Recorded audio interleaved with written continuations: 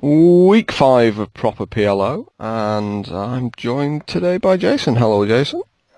How are you doing? it's not how I'm doing, it's how you're doing that's important. I'm doing all right. Can't complain. So Just got done with Thanksgiving dinner, so. Oh, well, uh, tell me what. Tell me how you're doing right now. Level wise, stake wise, bankroll management, stuff like that.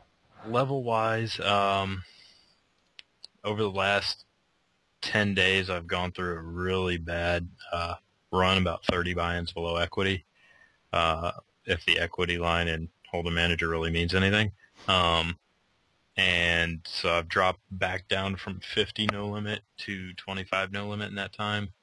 And actually right after making these videos, uh, I wound up making two videos, but only one of them uh, I'll show today. I gave to uh, Ribbo.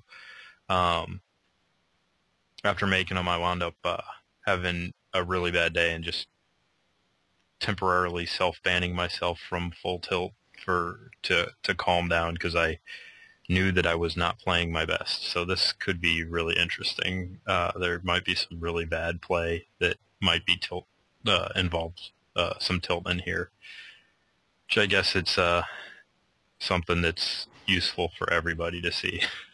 yeah, I actually, um, I made a little article that's in the latest issue of Bluff magazine actually about the very thing you're talking about, tilt.